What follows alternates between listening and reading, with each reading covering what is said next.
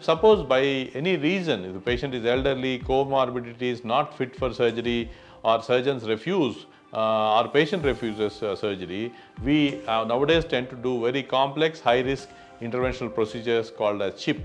CHIP in indicates uh, the procedural anatomical complexity is not only high risk complex, but it also involves the comorbidities of patients like kidney failure, lung failure, and uh, patients having previous history of strokes or TIAs, and some other problems like that. And apart from it, patient might also have heart failure, pumping function being less, that is called as LV dysfunction. This becomes a complex scenario where anatomical complexity, patient comorbidities, and the uh, hemodynamic abnormalities or LV dysfunction presents.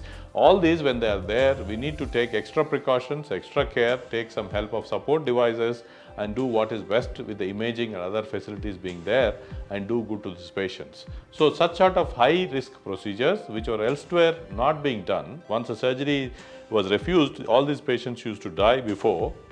Now we are able to tackle all such patients by these complex high risk interventional procedures which we now call a CHIP. And uh, the CHIP needs a heart team approach. We need to have a proper uh, anesthesia support and uh, all the facilities to be available in the cath lab and the post procedure care also becomes very important when you're dealing with such high risk uh, complex interventions.